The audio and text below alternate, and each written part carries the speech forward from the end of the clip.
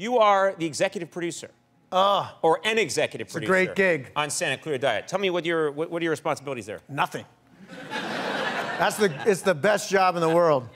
Everybody, uh, most people in Hollywood know this. If anyone comes up to you and says they're a Hollywood producer, uh, it sounds great, but really it means there's a good chance they do nothing. Yeah.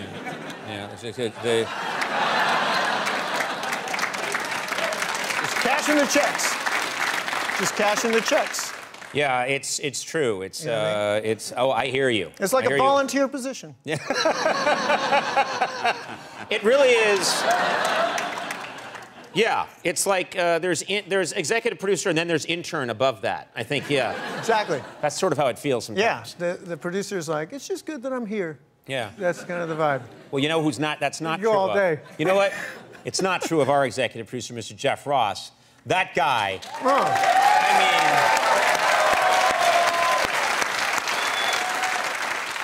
By the way, no, no, it's true. he looks good. Uh,